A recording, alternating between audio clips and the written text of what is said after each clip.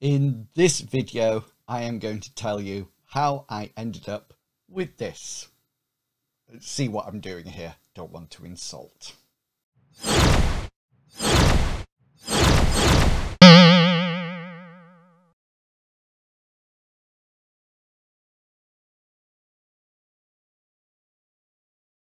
Hello and welcome back to what can only be described as a personal vlog. Yeah, personal vlog. So I just wanted to bring you up to date with things that are happening or the thing that has happened in my life. And very recently, I at the time of this recording, it happened yesterday and the day before. And I just wanted to share it with you and let you have an update. So, as some of you might be aware, I'm a little bit unsteady on my feet at the moment, suffering from um, a mild form of what's known as Guillain-Barré syndrome. And so I stagger a lot and I find it difficult to stand on one foot, etc., etc. I also get very tired very quickly and a host of other things that are associated with this syndrome. However, the important one is the fact that I am wobbly on my legs. So on Friday evening, I finished streaming because, and if you don't know this, you really should check me out. I'm currently doing stream every day in December. Here's a little jingle. I'll be streaming, I'll be streaming, I'll be streaming each day. I'll be streaming every day in December all the way. Hashtag. I'll be streaming, I'll be streaming, I'll be streaming each day. I'll be streaming every day in December, all the December, all the December, all the way. Hashtag. Stream underscore MAS. Streamus. Hope you like that. I was, I've recorded that on a multi-track Audacity in Audacity and well, I'm quite proud of it. Anyway, currently I'm streaming every day in December to raise my streaming profile and try to get um, some Streamloots partnership. I, I, want to try to get partnership with um, Streamloots. And anyway, I digress. I digress. So I finished streaming and I got ready to go in the bath. And unfortunately, in the preparation to go into the bath, I fell. And as I fell, I moved my right arm um, out to try to protect myself, and it was caught in the the elasticated bottom leg, you know, on a pair of joggers, you know, that keeps it tight to the ankle. Anyway, and it pulled away from there and there was a crack. I definitely heard a crack and I thought, oh, what was that? Anyway, hopped into the bath and looked at my finger.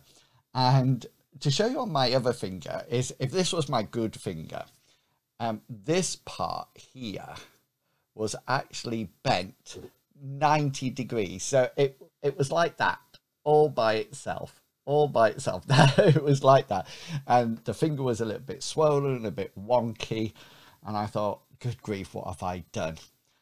At that point, looking at it, I got very faint and lightheaded. And I thought, good grief, I'm going to pass out in the bath. So, quickly using all my wits, I pulled the plug and rolled out of the bath onto the bathroom floor. I quickly got a towel and the only way I could dry myself off was to roll about on the towel as if I was on fire. I wasn't, of course, but I sort of rolled about backwards and forwards, backwards and forwards, and then felt very sick and um, faint. So I laid back and I put both my feet up on the toilet seat. Now you have to understand that I live by myself, and this was at half past ten, quarter to eleven at night. The front door, which is down a set of steps, was locked and double bolted top and bottom. And I, I'm actually thinking, what do I do? What do I do? Even if I could call for help, I couldn't walk down and unbolt the door. So anyway, I, I waited around a bit and thought, oh, I'm feeling a bit better now. So put put some boxes on, and then I looked at my finger again. I thought this is not good, and I thought right, if it's broken, then the best thing to do is to strap it to another finger um, to protect it. So I searched around and could only find um, a handkerchief. And so I wrapped my two fingers up. So like these two fingers, I wrapped it up with handkerchief and then used some of this Christmas string to tie a knot, which was really difficult because I'm right-handed and my finger wasn't working on here. So it, it wasn't working at all and it took me ages. I suddenly realized I couldn't use the scissors in my left hand and and I, I understand everybody who's left-handed now trying to use, use normal scissors. I did find, however, that my beard clipping um, scissors are both left and right-handed, which is well done, well done. I think it's, I think it's, um, I forget the company. I'll put it down here when I edit. Anyway, so I tied that up. That made me um, faint again. So I managed to get onto the bed and lie down and eventually had a very restless night's sleep uh, with dreams of broken fingers, etc. And I eventually woke up and couldn't get back to sleep about four or five o'clock in the morning. Anyway, I then thought about six and seven o'clock. For some unknown reason, I thought the National Health 111 phone service, which is what you can call when it's not an emergency but get some advice.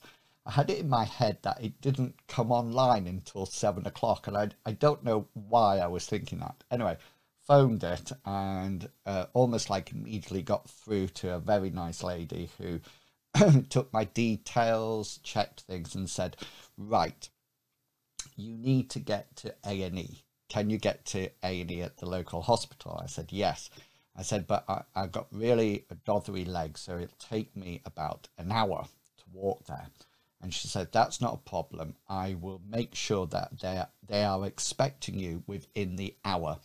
And if we don't hear from you, then we will ring you to make sure you're on the way. So I'm now in a state of high panic, thinking, good grief, you know, what what's happening here?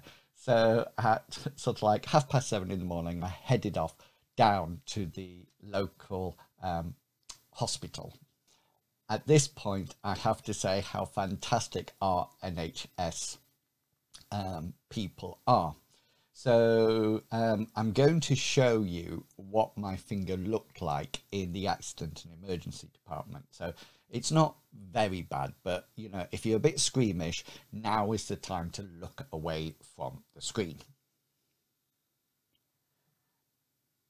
Okay, you can look back now. You can look back now. It's gone. Anyway, they decided that I needed x-rays. So I went off and got x-rays of the back of my hand, front of my hand, side of my hand, just the finger, everything very thorough, very thorough, and so pleasant all the time. I honestly, I, I don't know how they do it. I don't know how they do it.